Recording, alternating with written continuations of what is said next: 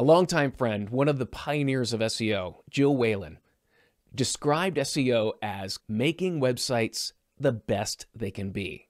To me, she reflected a distinct departure from the one and done tactics to a focus on developing businesses through their websites and beyond just rankings and visits, but to provide an outstanding visitor experience that builds trust, shows authority, ultimately for the purpose of building the business.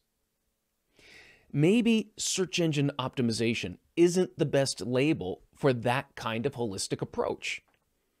Just the words search engine optimization simply describe the tactical functions of gaining rankings, where all the attention is focused on the search engine.